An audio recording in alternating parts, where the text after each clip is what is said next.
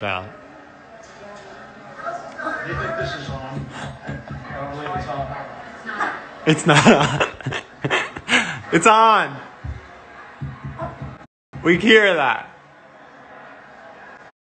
I'm just surprised they're not doing this from like a Home Depot parking lot. Loser bitch.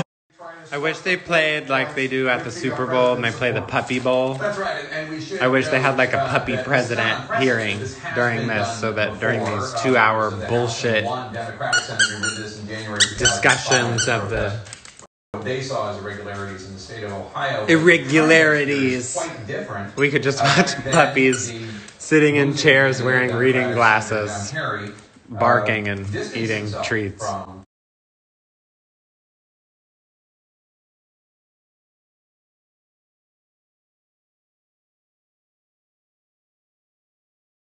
and they're going to go back, you know, to the Olive Garden and to their the Holiday Inn that they're staying at in the Garden Marriott, and they're going to have some drinks, and they're going to talk about the great day that they had in Washington, and they really did something and stand up for something, and they stood up for nothing other than mayhem, and and a man who is, you know, in the despicable waning days of a failed presidency. Whenever I start cooking,